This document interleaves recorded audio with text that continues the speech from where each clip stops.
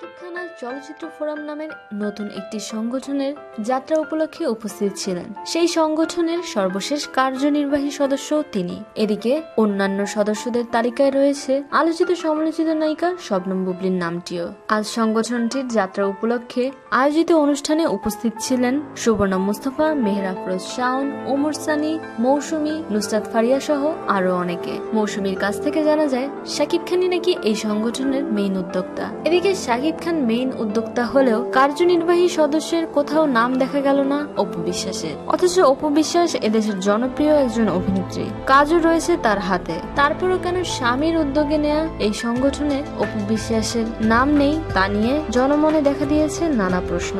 শাকিব খান কি তাকে যোগ দিতে বলেননি, নাকি তিনি নিজেই যোগ দেননি? তবে কয়েকজন জানিয়েছেন, এই কমিটিতে শবনম বুবলি থাকায় হয়তো অপু বিশ্বাস যোগ দিতে চাইছেন না। তবে পরবর্তীতে তিনি যোগ দেবেন কিনা এ নিয়েও কোনো বিশ্বাসযোগ্য খবর পাওয়া যায়নি। প্রিয় দর্শক, নতুন নতুন ফোরাম তৈরি হচ্ছে আমাদের চলচ্চিত্রে। কিন্তু কাজ হচ্ছে কম। এ নিয়ে আপনাদের কি মত? সবকিছু শেয়ার করুন আমাদের সাথে। এই আরও নিত্য নতুন খবর জানতে আমাদের সাবস্ক্রাইব করুন লাইক দিন এবং কমেন্ট করতে ভুলবেন না।